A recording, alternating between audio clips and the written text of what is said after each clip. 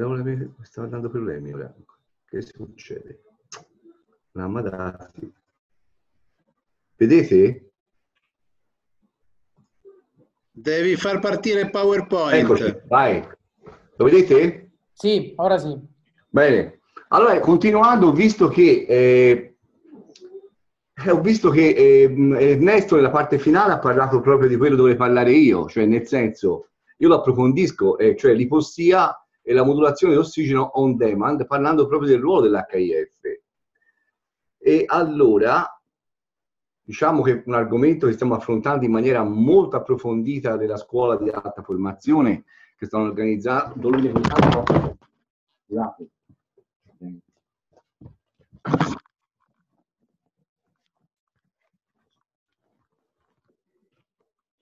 Scusatemi, ma era caduta la telecamera.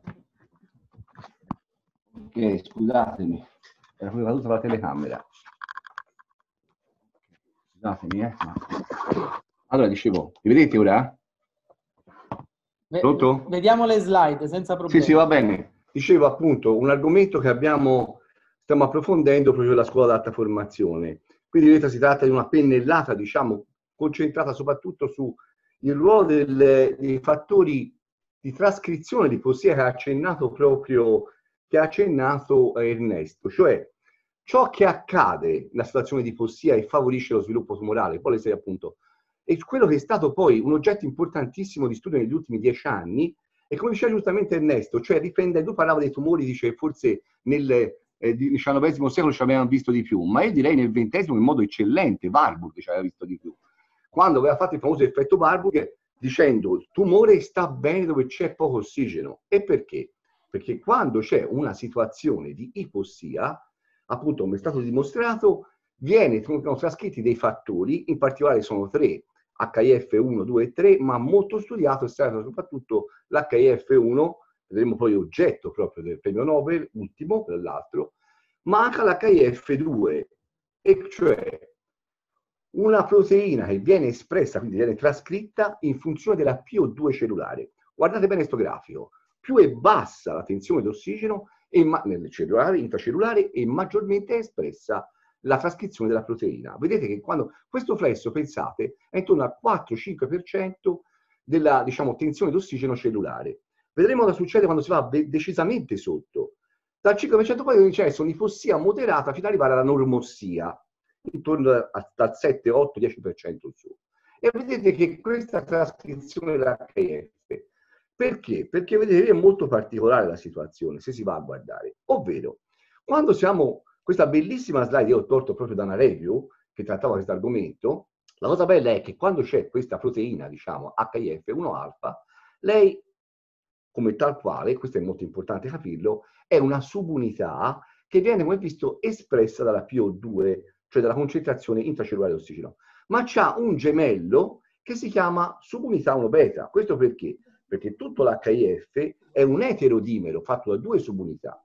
Attenzione, a livello citoplasmatico, la prima, quando condizioni di ipossia moderata o normossia, viene fortunatamente idrossilata da un enzima, la prolididrossilasi, proprio quella coinvolta anche la formazione del connettivo, eh? quindi dell'eprolina per esempio, che utilizza la prolina come aminoacido, e vedete in presenza d'ossigeno cosa succede? La idrossila fa un'idrossilazione idrossilazione che permette ad un fattore, pensate, si chiama Vonipper Lindau, un suppressore tumorale, di bloccarla, lucchettarla e fare in modo che l'ubiquitin ligasi, le tre l'ubiquitin ligasi, un policomplesso veramente enzimatico della scuola di alta formazione, abbiamo anche trattato nella lezione precedente, ho trattato in maniera dettagliata, la porta alla degradazione nel proteasoma, quindi inattivazione e degradazione. Dice, ma se aumenta la concentrazione, che cosa accade? È qui il bello. Se ne aumenta la concentrazione eh, citoplasmatica, in condizioni quali di ipossia spinta, quindi sotto il 4% di PO2 intracellulare, questo fattore, questa subunità, aumenta la concentrazione, trasmigra nel nucleo e trova il gemello. Il gemello vedete che è uno, eccolo qua, scusate perché è sensibilissimo, questo qui, segnato in marrone, è il famoso gemello della subunità, l'eterodimero, lo legano, si formano insieme, si trovano, si abbracciano e a livello nucleare vanno a indurre tutta una serie di fattori trascrizionali, fra cui spicca proprio, guardate, vi l'ho messo qui per esempio, VEGF, ovvero il gene del fattore di crescita dell'endotelio vascolare e vedremo il peso specifico di cosa. Pensate in questa operazione, uno dice, ma ci vanno tranquillamente in modo semplice? Eh no, perché se non ci avessero dei coattivatori che si chiamano proteine CBP300, eh, vedete, quelle PUL2, che sono presenti nel nucleo, che favoriscono questo attracco proprio del, di questa subunità, questo eterodimero al DNA. In delle sequenze si chiamano HRE, HRE, cioè elementi regolatori preesistenti. Pensate come per particolare, come diceva giustamente Ernesto, il nostro DNA veramente, cioè sono macchine veramente meravigliose finché tutto funziona bene. Cioè già presente queste sequenze che sono da recettore, recettive nei confronti del, diciamo, del complesso formato appunto HIF, fattore ipossico, e favorite da questo diciamo, complesso di proteine, sono i coattivatori, che pensate anche loro sono bloccati da un'altra idrossilasi, l'asparagine idrossilasi. Qui non l'ho messa perché sennò non abbiamo tempo, ma quindi questi idrossilasi danno un gioco fondamentale. L'idrossilazione è un, diciamo, un processo enzimatico regolatorio molto importante. Eccola qua, vedete, per tornare un attimo. Cloridrossilasi, la cosa dipende, ossigeno, ferro, vedete. Chetoglutarato alfa, cioè quello del ciclo di Krebs, notate bene, e soprattutto ascorbato, quindi vitamina C, acido ascorbio, ma lasciamo la vitamina C, il ruolo vitamina qui lasciamolo perdere, è di fatto una molecola polifunzionale molto importante. Quindi vedete, anche qui ripete, quando trasloca nel nucleo con i coattivatori riesce ad attivare e ha bisogno di questi cofattori. Allora, attenzione, una volta che è attivato, qual è la prima cosa che fa? Come prendendo il discorso del netto, a livello però, diciamo, biochimico molecolare. Attenzione, dice subito, attivo una chinasi, cioè un enzima che fosforila, e chi va a fosforilare questo enzima? Colpo di scena, proprio la piruvato idrogenasi, cioè quella che alla fine del ciclo glicolitico di utilizzazione di zuccheri mi porta poi, avete visto, lattato da una parte, piruvato dall'altra. Allora, in condizioni anaerobica va allattato, ma ci deve andare in situazione di emergenza. Se no va piruvato, acido piruvico piruvato. E che succede in quel caso lì? Ecco, quando va piruvato, il piruvato poi per entrare ha bisogno di questa trasformazione con l'intervento del coenzima A per diventare poi nel mitocondrio acetilcoenzima A, il famoso acido acetico attivato, cioè la forma, attenzione, in cui tutto, tutto il metabolismo converge per essere utilizzato nel ciclo di Krebs. Non ce lo scordiamo, passa tutto di lì, zuccheri, grassi, proteine, aminoacidi, quindi tutto quello che volete diventa acido acetico attivato. Ma se tu me lo fosforili, questo enzima chiave, vedete che addirittura un enzima che diciamo è trivalente anche questo, tu mi impedisci al piruvato di entrare. E quello cosa fa? Dice io se non entro, in che cosa mi trasformo io? Mi trasformo in acido lattico. Questo è le, il, il, dramma poi delle basi molecolari dell'effetto Warburg. Notare bene che addirittura pensate degli oncogeni come MYC, sono, che sono attivati almeno un tumore su due, cooperano, pensate la, veramente la malignità anche, la preta intenzionale come omicidio cellulare, cooperano per poter attivare trascrizionalmente questa chinasi e bloccare la deidrogenasi. E allora eccoci, la stessa slide ha fatto vedere Ernesto in chiave molecolare. Lo shift, lo shift che aveva visto sperimentalmente Warburg quasi più di 80 anni fa, anzi, scusate, 90 anni fa, nel 31 a 20, 100 anni, perché erano anni che ci studiava, e cioè lo shift metabolico lo diceva, il tumore sta bene dove c'è poco ossigeno, attiva un meccanismo biochimico che, il meccanismo che poi alla fine, il suo allievo Krebs, quando ha scoperto il ciclo di Krebs, si è potuto poi negli anni delineare, ma tutto questo è stato messo nel cassetto, non interessava a nessuno, non interessava a nessuno questa situazione dello shift glicolitico, finché alla fine, altri negli anni finalmente, 90, a cavallo del 2000, gente di scienza come poi i famosi premi Nobel che l'hanno vinto, ma non solo, c'era anche un altro premio, una scienziata giapponese che aveva già visto il ruolo fondamentale del, del, dell'HIF, diciamo, diciamo dell'ipossia nei tumori. Attenzione perché questa HIF è veramente geniale perché vi ho parlato dei gemelli HIF1, alfa e beta, ma c'è anche il fratello, l'altro fratello, HIF2. Sapete cosa fa lui? Perché voi mi direte, cari colleghi, dice, vabbè, non entri, non entri nel Krebs, eh, cioè non entri, diciamo, come piruvato, ma c'hai sempre gli acidi grassi, no? Puoi utilizzare quelli per produrre ATP, cioè la beta-ossidazione. No, perché il suo fratello, l'altro perverso HIF2, cosa fa? Mi blocca la beta-ossidazione. Dice, ma come? Anche questa mi blocchi? Certo, te la blocco, perché anzi, non solo non ti faccio ossidare e demolire, ma tutto ti favorisco la biosintesi lipidica. Uno dice, e non solo, ti blocco anche quegli eventuali radicali dell'ossigeno, specie reattive che potrebbero essere importanti l'apoptosi.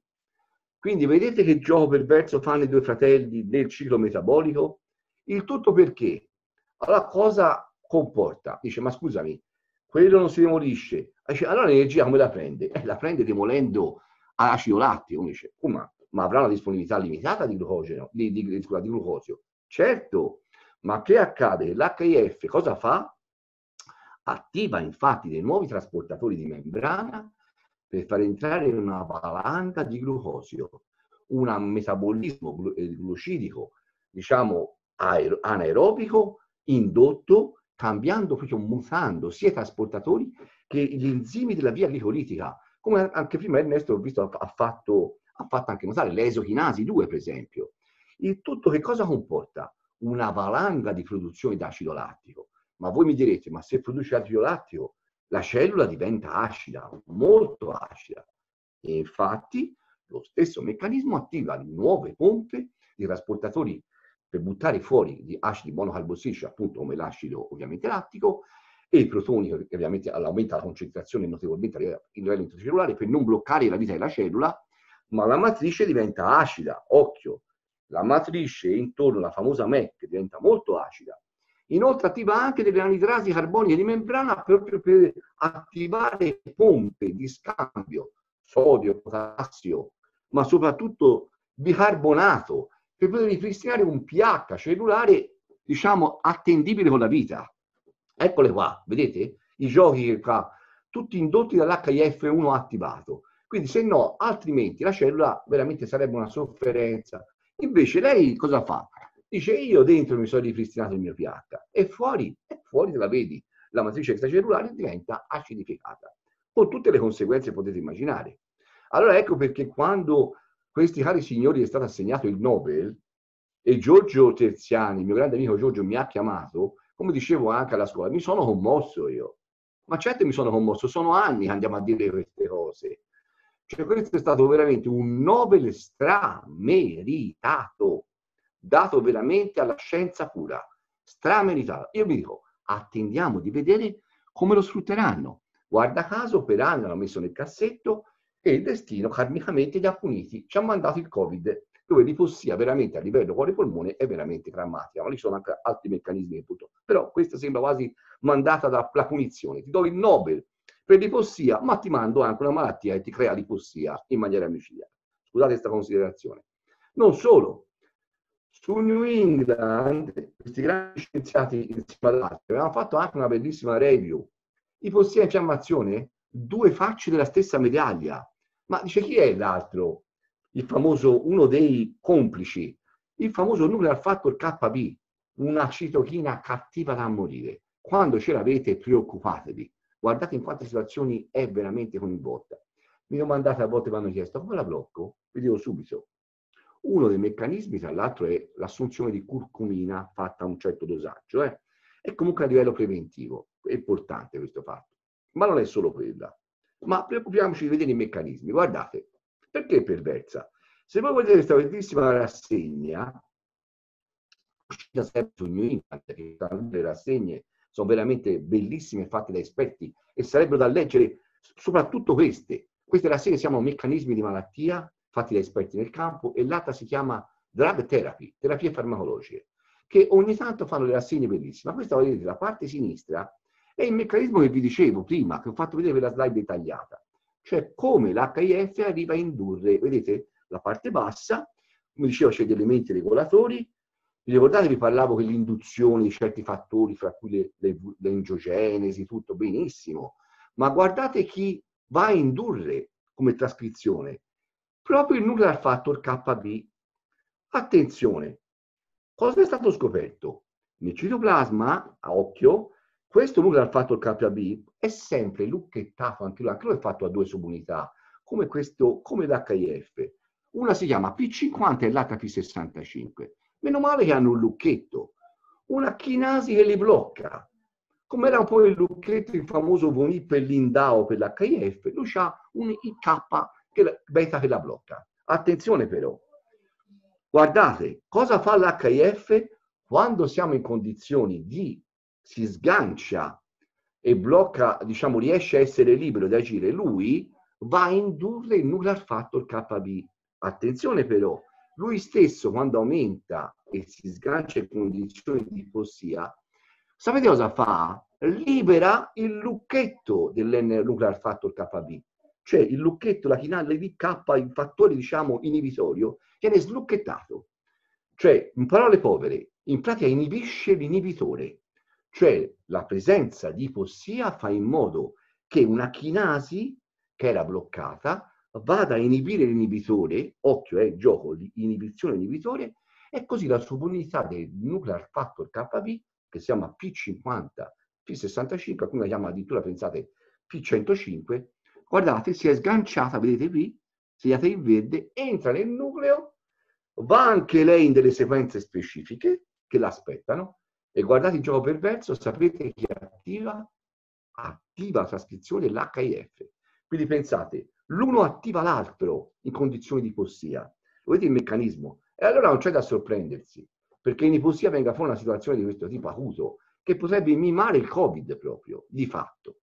Cioè un rilascio clamoroso di citochine e un gioco perverso cuore-polmone favorito dall'ipossia cronica, un'ipossia acuta, sia acuta che cronica, e la formazione di microtrombi che pure favorisce ancora di più l'ipossia. Per non parlarvi del gioco delle cellule immunitarie residenti, cosa che sto trattando e ho trattato la, la scorsa lezione proprio nella scuola di alta formazione proprio il 30 di giugno, settimana scorsa proprio. E, i, i colleghi che mi hanno seguito hanno visto il gioco veramente dettagliato che tutto questo meccanismo fa anche sulle cellule immunitarie innate e adattative. Allora attenzione, ecco perché quando si capiscono le basi metaboliche dell'HIF si capisce anche la connessione col cancro. Questo è importante. La comprensione di queste basi metaboliche del cancro ha la possibilità di fornire il fondamento per lo sviluppo di nuovi approcci per il trattamento in grado di modulare. Perché vedete, uno dice ma l'ipossia è negativa? E eh no, dipende. C'è un'ipossia funzionale anche. Eccola là, guardate sulla sinistra. Ma certo, però un giallo bifronte come lo è anche, come ho fatto alla scuola di alta formazione, ho spiegato questo gioco, per esempio, relativamente alle cellule immunitarie. Dipende dal grado di tossia e dal contesto. Quando l'ipossia diventa veramente, veramente importante, vedete che l'effetto di Giano Brifonte del pro proliferativo è, è, diciamo, supera quello antiproliferativo, con tutte le conseguenze. Quindi non più l'effetto positivo di regolarizzazione, che può essere un meccanismo di difesa, ma diventa purtroppo prevalente l'altro. E quando diventa? Guardateci, altri mi hanno chiesto, ma quante sono queste concentrazioni? Molto basse. Alla vista il flesso era sotto i 4,5, qui si sta parlando di sotto l'1% e già c'è la condizione di inizio della malignità, perché c'è l'attivazione prepotente, vedremo, dei, dei fattori di crescita dell'endotelio vascolare, quindi angiogenesi ma ancora più bassa, lo 0,1, 1 per 1000. Pensate, si arriva non solo alla trasformazione maligna, alla progressione maligna, in quasi casi irreversibile, quindi situazioni molto molto importanti. Anche pensate, diagnosi infausta, perché si creano in quelle condizioni molto spesso si è visto anche un meccanismo proprio, che riguarda proprio la MEC, guarda caso, acidificata, una resistenza al trattamento tumorale. Infatti, l'ipossia è una condizione molto diffusa nei tumori, vedete, perché come diceva Ernesto, come diceva, come sa benissimo Pier Mari, a volte parla, la capacità di adattarsi all'ipossia è proprio essenziale per la crescita tumorale. Ci sguazzano. E la, e la acidificazione della MEC, la matrice, è proprio il suo. Favorisce una vascolarizzazione indotta che non è la vasculogenesi, ma è l'angiogenesi neoformata. E l'HIF è un promotore di tutto questo. Questo hanno dimostrato i nostri cari premi Nobel. Guardatelo. Vedete la dose di dipendenza? Si abbassa la PO2 a livello critico sotto l'1% e aumenta la, l'angiogenesi, come aumenta parallelamente l'espressione del VEGF, che è il fattore di crescita dell'endotelio vascolare. Eccolo qua. Vedete come vanno in parallelo anche proprio nello sviluppo del tumore. Quindi a questo punto cosa ci rimane? Questa pennellata. La modulazione on demand dell'ossigeno. Fortunatamente il mio caro amico Giorgio più di dieci anni fa ha fatto fare studi importanti. Quando mi disse, Mauro, che devo fare che tanti medici, biologi mi, mi chiedano lavori? Ho detto, Giorgio, ti devi affidare all'università di un certo livello, non c'è niente da fare. E Giorgio cominciò ad affidarsi prima cosa ha detto, dice, ma vediamo intanto il, il, potere antiossidante, giustamente, no? Certo, e l'ha visto. Allora va a Urbino, certamente dal professor Canistari e il suo team, e valutano tutto un insieme. Poi il passo successivo, attenzione indipendente, tenta un Milano, studi di patologia. Io dissi, Giorgio, guarda che Milano va, cioè, professoressa, per, fai te, cioè, eh, insomma, eh, può essere un salto nel buio, eh, se lo dimostra. E invece non è stato affatto un salto nel buio, perché vedete cosa è emerso?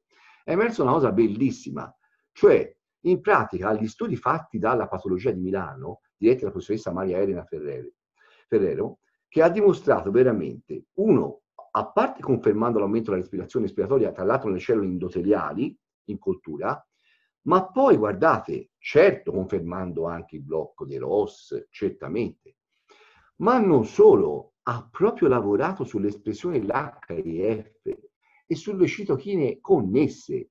Questo è stato fondamentale. Un lavoro a questo punto ora viene esaltato dalle ricerche fatte proprio dai premi Nobel. Eccolo qua il lavoro, sul Journal Physiology e Pharmacology. Un lavoro importantissimo. Non solo di... Sapete cosa è emerso in questo lavoro? Il ripristino, attenzione, della via, no, cioè la, diciamo, il reshift verso la via mitocondriale. Essenziale questa cosa. È lì che si gioca veramente. La riprogrammazione, mi direbbe l'amico Pier Mario, in senso metabolico. Riprogrammazione metabolica.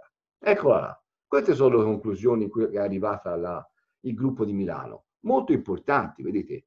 Cioè, non solo, addirittura anche, pensate, la pregolation della superostodismutasi. Vi ricordo io, attenzione, manganese dipendente, quando si parla di un'azione vera antiossidante, si deve andare a guardare se vengono espressi quelli che sono gli enzimi che sono non tanto l'azione di per sé, ma l'espressione, diciamo, alla trascrizione corretta degli enzimi che fanno da barriera, la superostodismutasi, la glutazione perosidale. Questi sono gli enzimi che funzionano.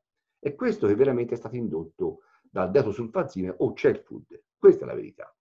E non solo, anche di pristino, vedete, perché lei, il gruppo ha lavorato sulle cellule endoteliali, della funzione endoteliale, ragazzi, endotelio, scusate ragazzi, dico perché in senso veramente bonario, sentiamo tutti giovani pur avendo magari la cioè, cioè che colleghi hanno 30 anni, ma io mi, nello spirito bisogna sentirsi ovviamente sempre dei, dei ventenni o trentenni.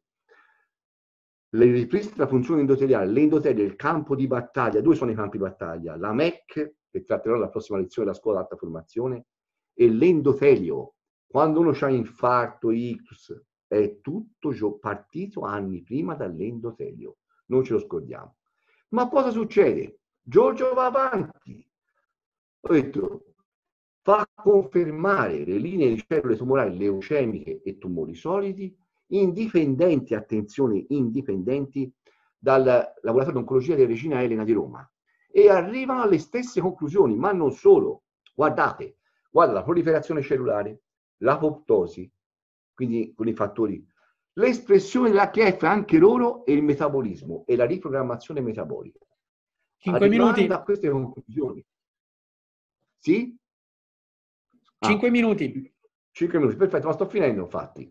Allora guardate, e questo è importante, il deosulfazime riduce in maniera significativa la concentrazione, confermando Milano, riprogramma perché va a lavorare sulla deidrogenasi, riprogramma in senso non più glicolitico ma in senso mitocondriale la respirazione e come lo vedi? Ma non solo, addirittura riduce, questo è importante, i GRUT che erano espressi dalla condizione glicolitica anaerobica. Ecco la riprogrammazione degli enzimi di membrana.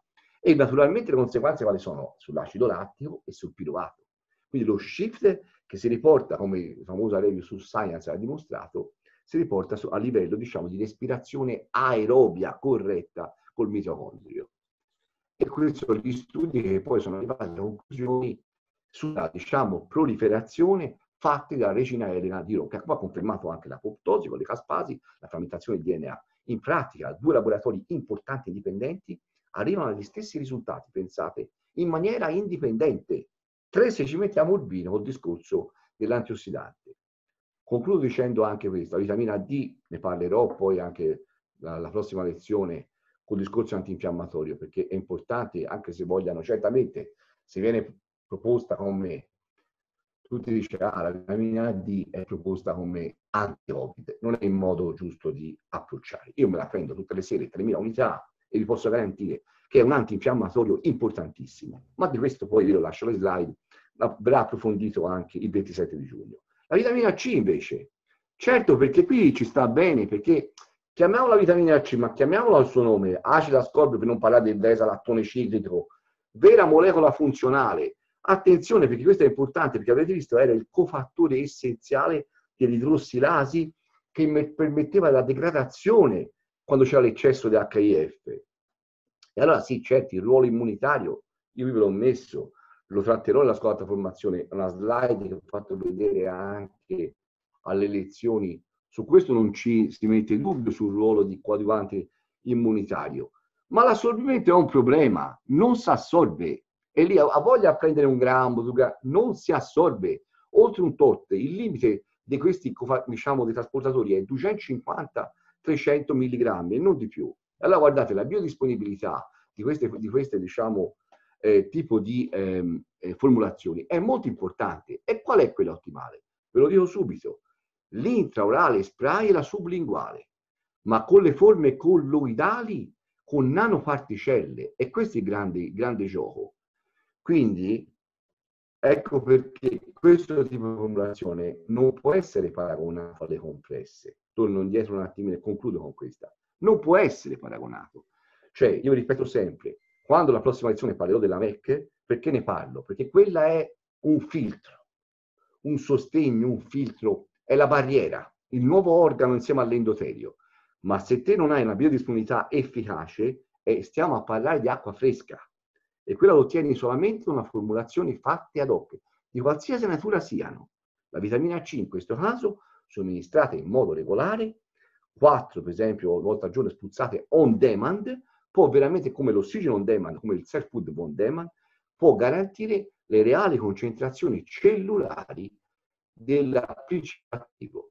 E non avere, vedete, questi flussi, questi sbalzi, ma avere sempre una, una concentrazione, uno steady state tematico che possa permettere proprio un'adeguata, eh, diciamo, concentrazione plasmatica e di conseguenza cellulare. Grazie dell'attenzione. Grazie, grazie mille per l'intervento, fantastico. Grazie. Se, se non ci sono domande passiamo subito